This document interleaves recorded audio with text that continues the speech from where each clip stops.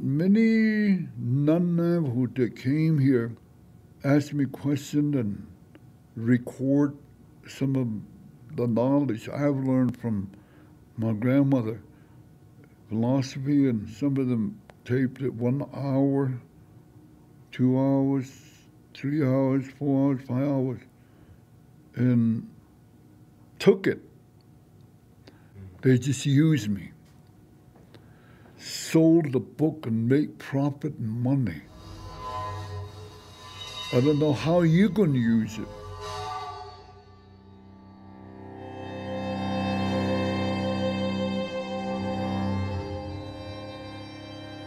People think of archivists as curators of the past, but actually we're, we're handmaidens of the future. Taking it all back home. Taking it all back home? What in the hell does that mean? Taking it all back home. Oh, I said, we want it back. You know, that's my dad, that's my uncle. This is a program about the lives of recordings. It's the people that are missing from these recordings. This is a program about repatriation. Um, but it's up to them whether they should go back or not. The best thing is we did it, we got it back.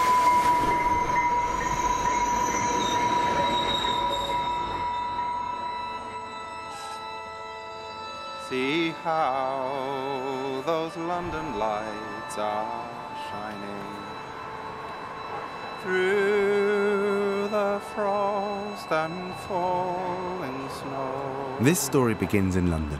It's the place where I grew up, and today, as a folk singer and song collector, this is my home gig. It's where I live, host concerts, and make my living. Your mother's got nowhere to go. It was in the sound archives of the Vaughan Williams Memorial Library some 11 years ago where I first encountered the historic recordings of some of the great narrative ballads of British and Irish song tradition. But it was the stories behind the making of these recordings and other sounds of the world that inspired me to take to the road and go song collecting in the old fashioned way, to meet the carriers of this music and to make new recordings of vanishing culture. I recorded first on wax, then I embossed on pure aluminum discs, heavily greased. Worldwide, we have 100 plus years of recordings across so many different evolving formats. Then came acetate discs, and finally, thank goodness, tape. Archives have grown up around the world storing huge collections of sound. It's so wonderful looking at the shelf here, and there's Welsh whistling, the sheepdog calls next to Torres Straits. Uh, you know, the world is brought together here. Yeah, it really is, alongside uh, Nepalese and Indian and West African. The first recordists were wealthy individuals from the West who often thought little about the rights and long term impact on the people they were recording. But in the last couple of decades, things have changed. Giving these sounds back to the people from whence they came has become a major part of the responsibility of those engaged with sound archives. I don't know what kind of people you have where you come from. This is a program about the lives of recordings. If you can record some of these sacred stories I've learned, what you're going to give me, what's your token of respect? This is a program about repatriation. So, do you want to see? The British Library has one of the most expansive and diverse archives of mechanically captured sounds. Some of the earliest recordings ever made live in its basement. Handle with care. Janet Topp Fargion is the British Library's lead curator of world and traditional music, and my guide through the collection. This is the mold that begins to take hold. They're beautiful objects, and I mean, it's so wonderful to see the names Lady Maisry, one of the great ballads there. Here are the first instances of sound being used to document people and culture. In this case, it's from the English Folk Dance and Song Society.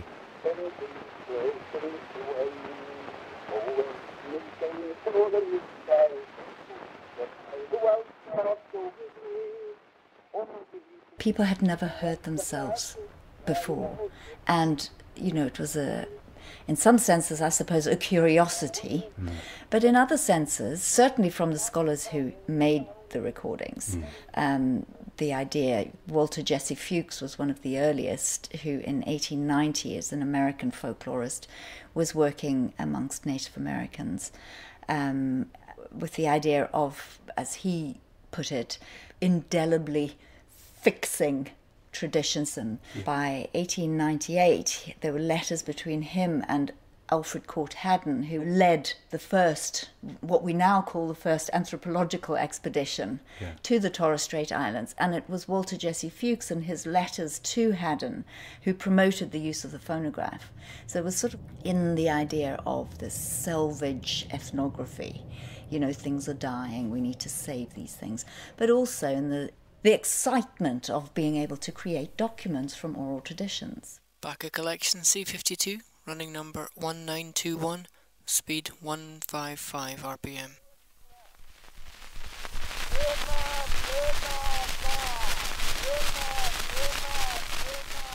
And how is the British Library taking it all back home then? We are a large institution. Our collections cover communities from all over the world, over the whole span of recording history. We can't possibly have the knowledge ourselves to go back and interact with all of those communities to the level that we would need to.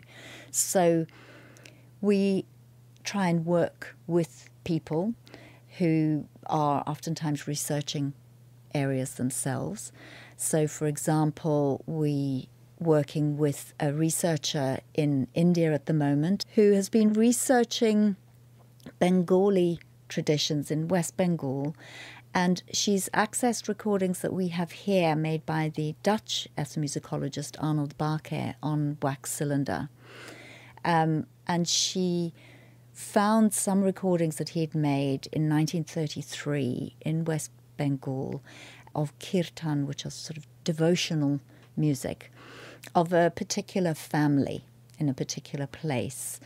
And she, during her research, has found these family members and she's played them, she's told them about the recordings. And so she's put them, or rather the other way around, she's put us directly in touch with them. And just yesterday, we sent off, at their request for the format of CD, we sent off the recordings of their family members. Recorded sound has existed as a possibility for human beings for a tiny little tick of the clock relative to human history. We did not evolve to hear music and think, I wonder what machine is playing that. Aaron Fox is the director of Columbia University's Center for Ethnomusicology. Our cultures and our minds and bodies and brains, in fact, evolved to respond to pattern sounds as happening in our immediate field of experience and as orienting us immediately to other people and the world around us. The archive represents a true departure from that. These days, we tend to equate sound and recording or music and recording as being the same thing. We tend to hear the recording as a transparent document of sound, but sound is fundamentally transduced when it's recorded. And uh, the word schizophonia, which was coined by the Canadian soundscape composer Murray Schafer in the 70s, that concept names the possibility of splitting sound from its source. Aaron Fox. Over the last decade, he has been responsible for the archive of recordings made by this woman, Laura Boulton. Uh, I've gone into an African tribe, for instance. Naturally, they hadn't, and uh, not many other people had at that time seen a portable recorder. Oh boy, does that give me complicated feelings. I've been listening to her voice and reading her words for, what are we on now? About 15 years. They used to, uh, when they had no word for me, they called me a musical anthropologist or an anthropological musicologist. A big part of the problem for me, to be frank, is the actual word ethno in the word ethnomusicology, which is historically a colonialist conception of the discipline. Recordists like Laura Boulton often painted themselves as intrepid explorers, heading out into the wild unknown to collect sounds, heroically battling danger. Well, I mean, uh, if you call a leopard in your tent a foot from your head, danger, I suppose. I've had plenty. The word ethno means other, and it makes a marked category in relation to musicology.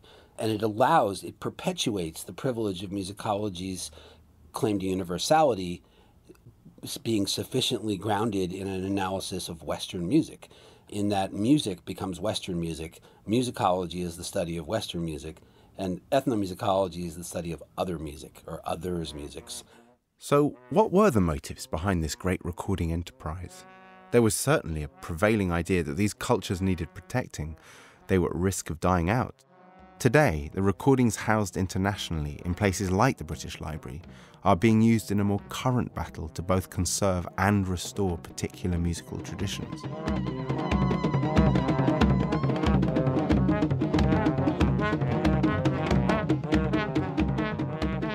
See, we are in a time when musicians are very difficult to find, and um, we are trying to capture what we find to be on the verge of extinction, so to say. James Isabirye is a musician and ethnomusicologist and member of the National Council of Folklorists in Uganda. I have learned from many recordings of Peter Cooke. He recorded music from my own motherland, Busoga, and I have been using it to teach some of my classes of music appreciation.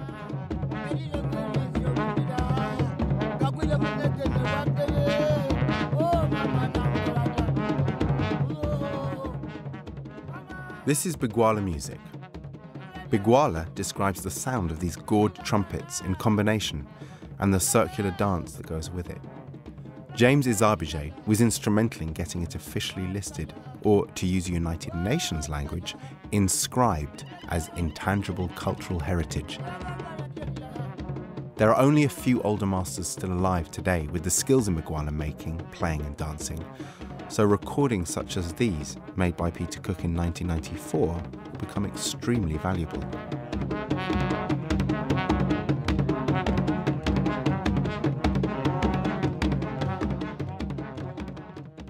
I usually record out in the open air. But that day there was quite a breeze blowing, which would disturb the microphone, so I had to find shelter out of the wind. British born Hugh Tracey dedicated his life to documenting the music of Africa. He began in 1921, arriving fresh from England's Devonshire to farm tobacco in what was then southern Rhodesia, now Zimbabwe. Nearby there was an old, abandoned brick hut. The door and window frames had been pulled out, and the floor was covered with a pile of loose bricks and rubble.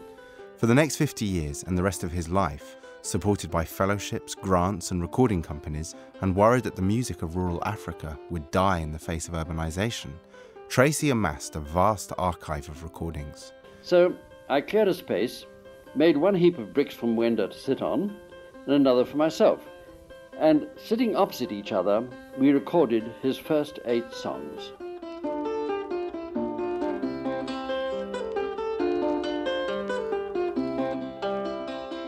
Masanga by Jean Bosco Mwenda. Masanga, in particular, has been heard, analysed, and published in notation in several songbooks in Africa and elsewhere.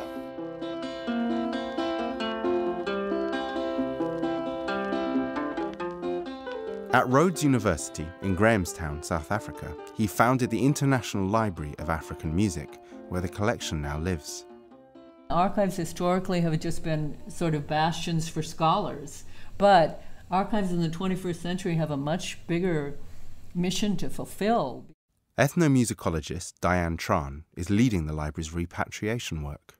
I don't call it a duty, I call it a, an ethical imperative to carry out return of the historic recordings to their communities of origin. You can't expect everyone to be interested in music heritage, of course not.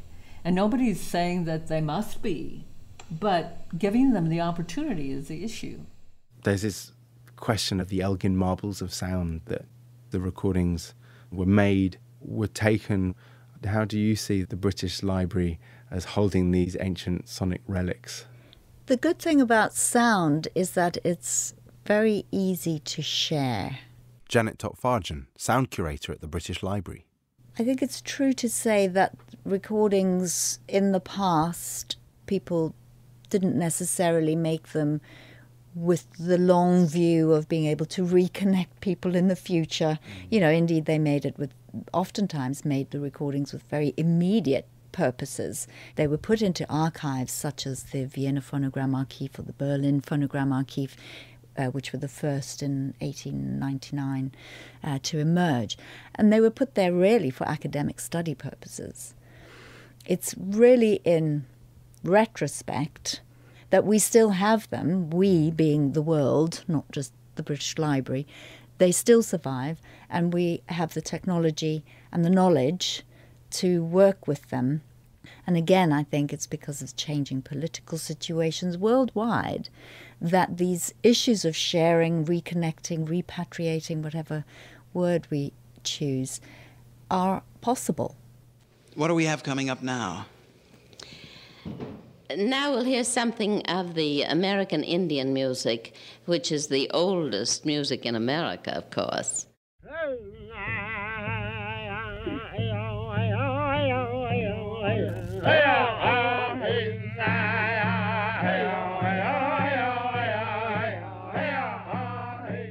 Repatriation isn't always about a particular institution deciding to give a recording back. The impetus can come from the people in the community too.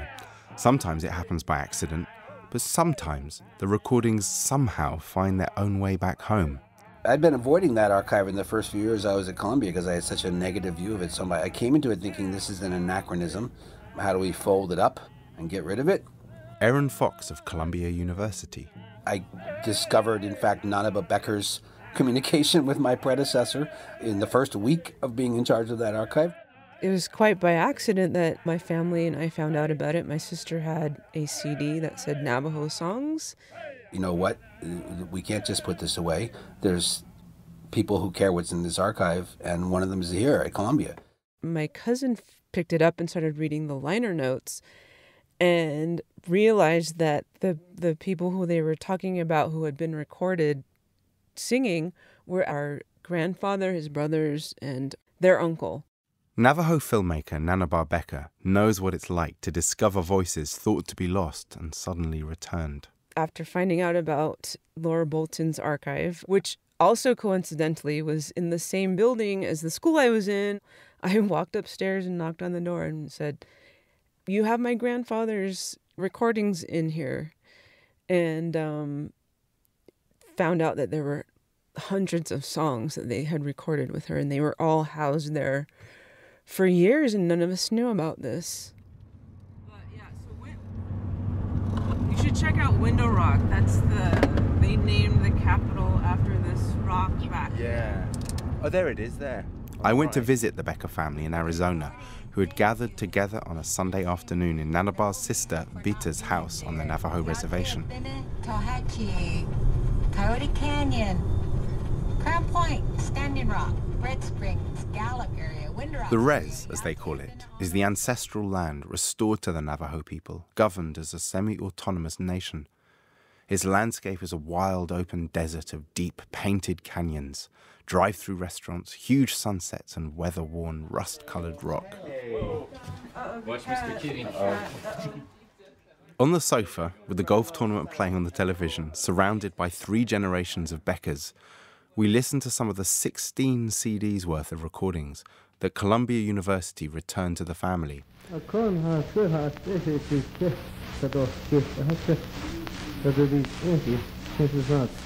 These were the recordings made in 1933 at the Chicago World Fair.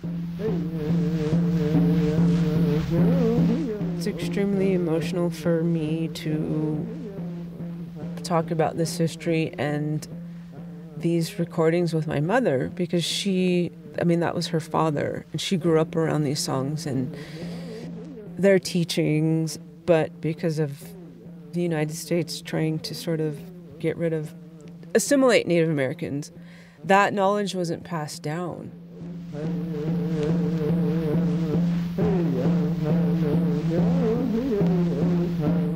Vicky Becker, Nanobah's elderly mother.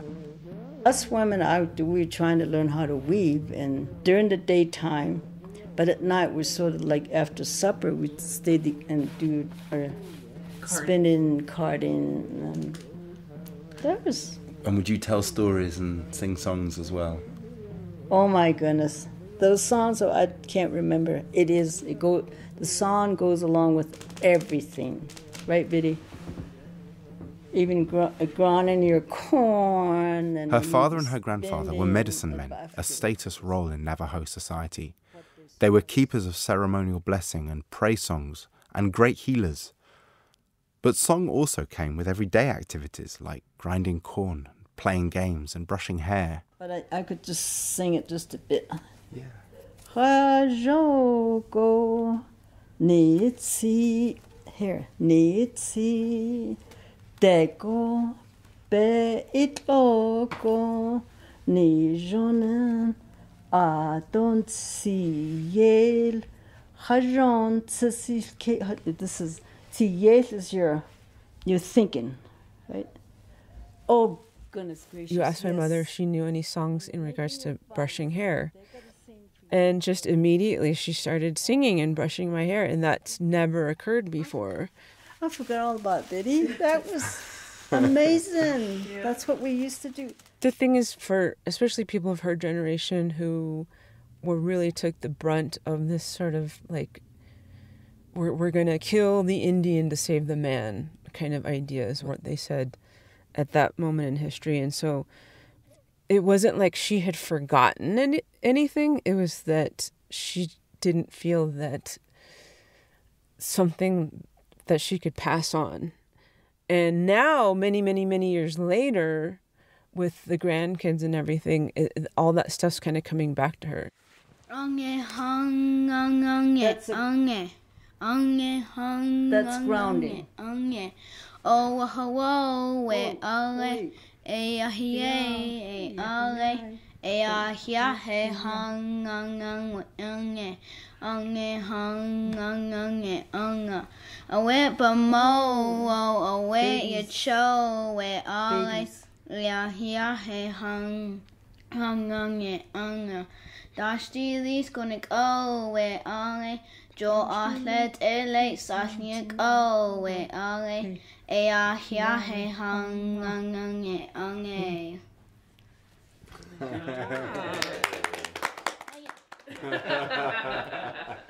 See, see, when I was growing up, I forgot all. he has left the building. the star has left the room. As I listened to Vicky's grandson Bahi sing, it seemed obvious that these scratchy sound documents have brought a really significant energy in the 10 years since they were brought home. I'm very glad that these recordings exist because I personally was not exposed to them. And for me, it was like a message from the past sent to us, and we were meant to find it. You're probably aware of the history of Native education here, that it was forced and imposed upon us. It was much more brutal with my parents' generation. They were actually captured, rounded up, and taken to boarding school. And when a child accidentally spoke Navajo, they had to wear a wooden sign around their neck, and the sign said, I speak Navajo. The first Navajo poet laureate, Luci Tapahonso. There's a saying, they say, the sacred begins at the tip of my tongue. So, whatever you say is a holy thing. But what happens when you don't find out, if you don't discover the archives?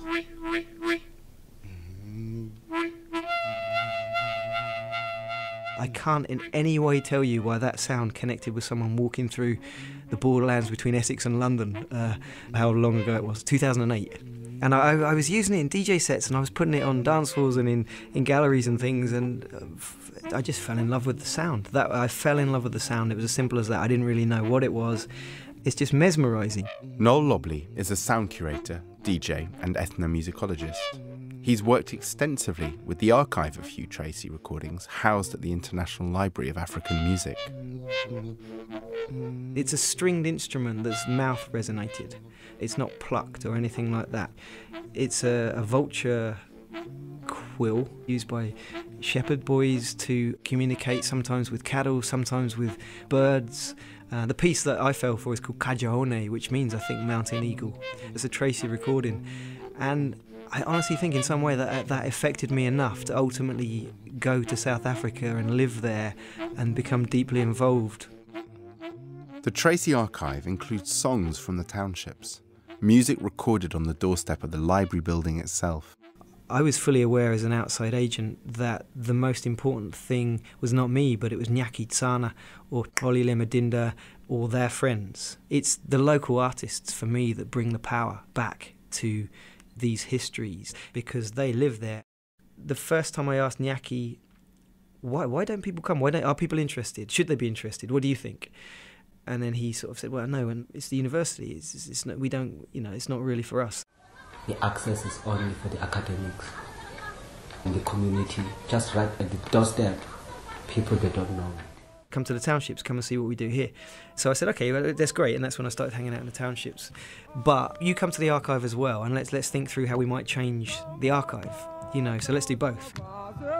And as I went through the recordings with him, and I didn't know Somagwaza, Nyaki said, "This is our anthem."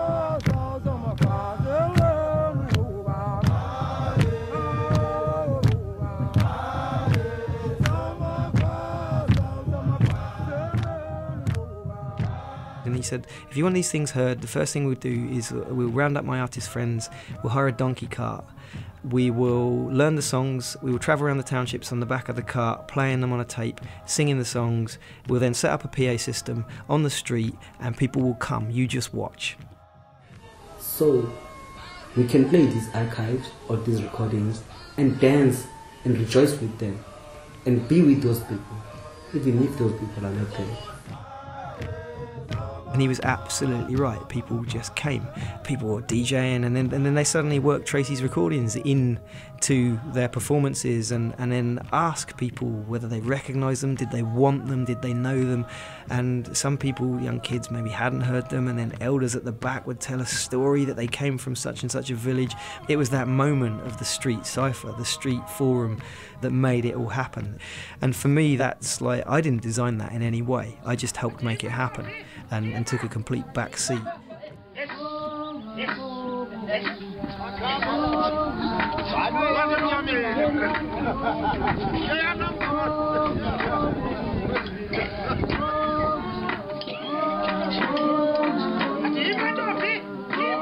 The translation is something like Father of the Stabbing. Tracey claims it as a praise song for the chief after cattle has been slaughtered. That's what it was documented as. But I can tell you that it promoted some of the most vibrant and rich debate about Xhosa culture, who Somagwaza was. Nobody agreed. The men said, oh yes, the women are not allowed to hear this song. And the women are like, what are you talking about? We've been singing it for years. It's sung at a particular moment during an Umgidi initiation ceremony for other people. No, it's not sung at that point. So it's clearly, there's no fixed meaning. The knowledge of these archives, the strength that I've got from these archives, I can feel it, I can see the difference.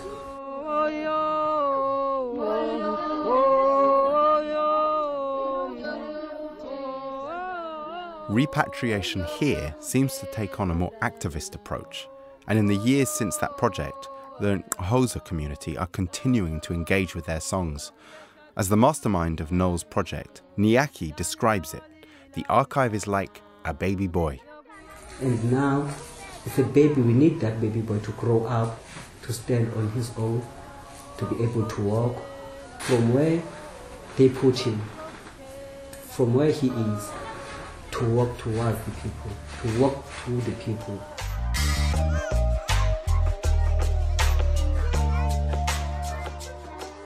baxolile uzukhule apho khona umdala kwandisele imizamo yakho ayisikelela agcina umazikhali apho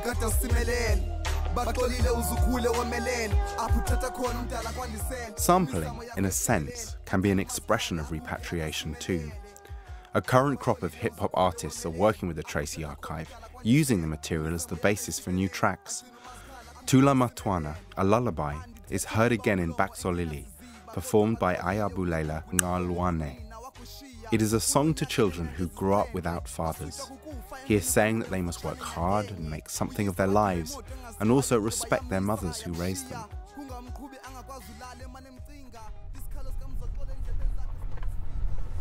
Where do we journey to next? Thinking about repatriation reveals an obsession with recording. This fascination with being able to take sounds around with us, of making them into objects. And it raises many questions about how song collectors like myself today approach the ideas of cultural value and sensitivities that are always present when you turn a microphone on. That expression, means you're addressing Mother Earth and its divine creation. Dr. Wilson Aronilth Jr. is a Navajo teacher at the Dine College in Tsaile, Arizona. You say Neyawo, mean you're addressing the cosmic natural order. And then you're going to say Shili Anne, Shaka Anne. I hear my horse neighing early dawn. When that morning star comes up, my horse is neighing. We're listening here to a Navajo sacred horse song.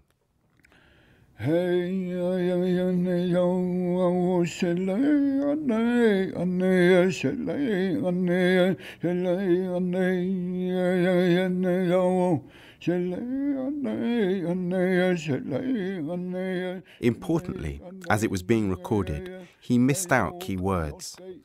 This song would usually be sung in ceremonial settings over several hours without outsiders like me being there. But as Wilson says, the power of these songs is lost in a recording and means nothing for a non Navajo who comes at them with curiosity. You don't just take something to be greedy or just for granted.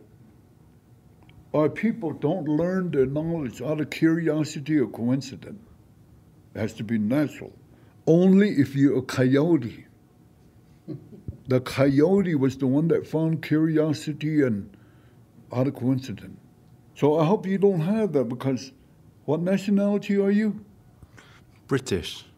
I don't think British have curiosity or out of coincidence. If you do, that means you kind of lie, cheat, you instigate things, you mobilize, control people. We have been guilty of that before. Uh, I was just curious. I wanted to have a blessing with ceremony. I was just curious. I went to uh, Navajo ceremony. It's not going to work for you. Did you run into tribal taboos? Not seriously and not for long because I always found a way. Sound recordist Laura Boulton. Even one Indian tribe had very secret ceremonies which they were even afraid to talk about. But I made friends with the old chief, and he said he'd be killed if it was ever known that he had given them out. And um, I gave my word of honor, and I have never played those for anybody. I think the old man must be dead now, and one of these days they'll probably be released. But he went way out in the desert with me, and we sat under a cactus bush with a battery run machine, and he gave me the whole cycle of songs. What exactly is a recording, and who owns a recording, and what are these ideas of intellectual copyright, and are they relevant? Yeah, that's a good question. the, the, Noel Lobley. Uh, for me, a recording is is as, simple as uh, an audio document. You know, it's something that's an audio document and that is repeatable. You know, that that is my understanding of a recording, and it depends, doesn't it? So, in technically, the person that's pressed record quite often owns the recording, but not always. There's also this idea of moral rights, you know, over and above intellectual rights. There are performing rights, and then there's there's content rights over a song. It's I think it's fair to say it's very very complicated, and it's not agreed internationally or cross culturally either. How does a community claim ownership over a sound, right? And what happens when a sound is split from its source and then starts circulating in the ether? as it were. Kristina Jacobsen is a cultural anthropologist and ethnomusicologist. There isn't even a framework to understand communal ownership, right, or communal intellectual property. And so then retroactively, how does a community reclaim access to and ownership of communal knowledge that's already been leaked out when when the only sort of legal framework we have to understand it is based on individuals right? And their right to sort of share or circulate a story. Laura Boulton sold her recordings to Columbia University in 1961 and for Aaron Fox now in charge of the collection repatriation must address the recording's legal status. How you decide who has what rights in a pre 1972 unpublished sound recording turns out to have nothing to do with federal copyright law. However, that's the body of law that's asserted as protecting Boulton's rights and the university's rights and the other institutions' rights. It's basically a lie, which is a terrifying and saddening thing for me to learn over the course of a few, you know the last few years, because I had really hoped we could clarify legitimate ownership of rights for the reason that I wanted to be able to give them back, dissolve them, you know, transfer them. Basically, if you own something, then you can give it away. We don't own it, which means, unfortunately, the continuing hegemony of Western intellectual property law says we can't give it back. The collection is called here at Columbia the Laura Boulton collection of traditional and liturgical music. I have covered the globe, and the um, more than 20 expeditions in the last 30 years have taken me literally to all parts of the world, so that it's quite safe to say that this is the largest private collection in existence of the music of all the world. It's not, and it wasn't then. And uh, the idea that it's a single collection fixed with her name that actually is the alchemy that she performs in making the sale and that Columbia participates in by purchasing the collection. There it is. That's the moment. That's the framing that created the second level of alienation of these materials from their points of origin and their communities of origin. And in that moment of conversion, the native people disappear fully. From 1961, when the conversation between Boulton and Columbia begins, until 19 90 when the intercorporate agreement between Library of Congress, Indiana, and Columbia is finalized and the Boulton Foundation is dissolved, not one mention occurs in thousands of pages of documents of the interests, the rights, or the stakes of the people on the recordings, not just the indigenous people, all of them. They do not exist. There is definitely a perception that to record means eventually to make money or somebody will make money from this. That that's you know those coming back up against Tracey's um, mission his endeavors were that you know it, to to record might eventually bring material benefit. And I think there's reason to believe that you know Tracy did work alongside Gallo Records and, and some artists did make a lot of money out of Gallo records. Not many but some. So I think it's reasonable to have that assumption you feel that if, if you aren't, then someone else is making money out of that. My noticing that young Sangha African opened up for him an entirely new life. At that time, he was one of the messengers working for the passport office in Jadotville. But as soon as I'd published his songs, everything began to happen to him. He was taken up by a local gramophone company, sent up to East Africa for a while. His songs have even taken him to America and the Newport Folk Festival.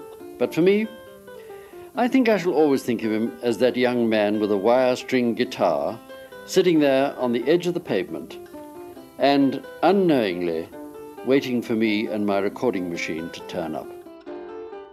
Good luck to you, Mwenda Jean Bosco, wherever you may be. From one perspective, the repatriation business challenges a modern day fascination with the past, but also an obsession with the highly subjective view of authenticity. Kristina Jacobsen's research and writing focuses on a more current interface between language, identity, and creativity, that of Navajo country bands. My constant question is like, why do we expect that Native peoples, you know, why are they only allowed to perform traditional songs in order to be considered Native? That drives me crazy. And I feel like historically that's been a sort of obsession that ethnomusicologists have had with purity and with ideas of cultural continuity and tradition, so that there isn't any sort of conceptual space for us to understand that quote unquote authentic expressions of contemporary Navajo identity are exactly that. They're engaging with contemporary modernity in the ways that everyone else does. You know, I'm Scandinavian American, and in no way am I expected to travel to UNM to teach in a Viking ship, right? Like that, that expectation is not put on me, but it's absolutely put on Native peoples, and I'm not expected to speak Danish or Norwegian, although I do. Yeah. Hot eh? Wanted man in Clagacho, wanted man in Tuba City, wanted man in Navajo.